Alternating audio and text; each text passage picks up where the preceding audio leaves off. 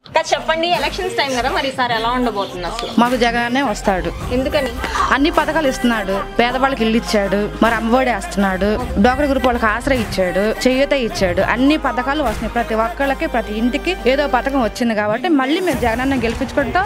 మళ్ళీ పథకాలు పొందుతాం మేము. మరి ఇప్పుడు బాబు గారు కూడా ఇస్తానంటున్నారు కదా ఒక ఛాన్స్ ఇవ్వండి అంతకు ముందు ఇవ్వలేదే? మా జగనాన్ని ఇచ్చినాక ఇప్పుడు ఇస్తారంట అంతకు ముందు ఇవ్వలేదే? డోకరా గ్రూప్ వాళ్ళకి రుణమాఫీ చేస్తామన్నారు. చాలా గ్రూపులు చేస్తాం. చాలా గ్రూపులు ఆగిపోయినాయి. మా జగనాన్ని వచ్చినాక మళ్ళీ రిపీట్ అయినాయి చాలా ఆశ ఆశ అందరికి ఆశ వేసారు కన్ఫర్మ్గా చేశారు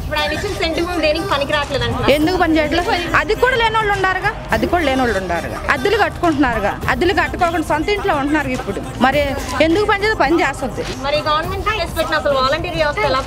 వాలంటీర్లు సూపర్గా పని చేస్తున్నారు బాగా ఏం కాదు వాళ్ళు అన్ని విధాలు అన్ని పనులు చేస్తున్నారు. ఏమి ఒక్క రూపాయి కూడా తీసుకోరు వాళ్ళు. పొద్దున్న వస్తారు అందరూ పిలుస్తారు ఇంటింటికి పిలిచి వాళ్ళకి కావాల్సిన పథకాలన్నీ ఇస్తున్నారు వాళ్ళు. వాళ్ళని అంటానికి లేదు. గవర్నమెంట్ అయితే బాగానే ఉందండి. ఆ, మాకు మళ్ళీ జగనన్నే వస్తాడు. మాకు వచ్చేది మటుకు జగనన్నే మాకు జగనన్నే కావాలి.